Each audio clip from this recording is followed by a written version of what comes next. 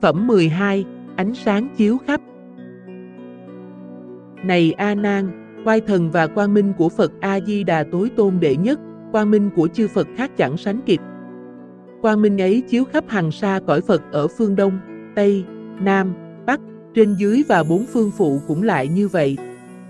Hào quang trên đảnh chiếu xa 1 2 3 4 do tuần, hoặc trăm ngàn vạn ức do tuần. Hào quang các đức Phật khác hoặc chiếu đến một hai cõi Phật, hoặc trăm ngàn cõi Phật.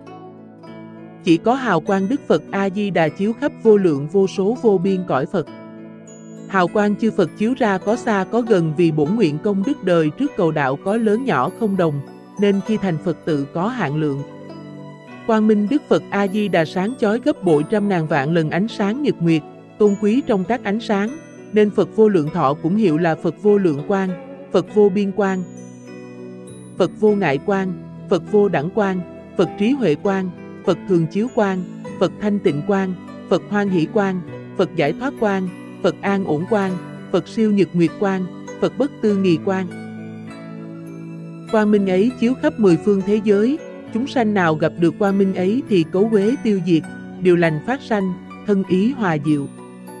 Nếu ở tam đồ chịu khổ cùng cực thấy được quang minh này liền được dừng khổ, mạng chung được giải thoát. Chúng sanh nào nghe được oai thần công đức quang minh này ngày đêm khe nói chí tâm không nghỉ, vì theo ý nguyện được sanh về cực lạc.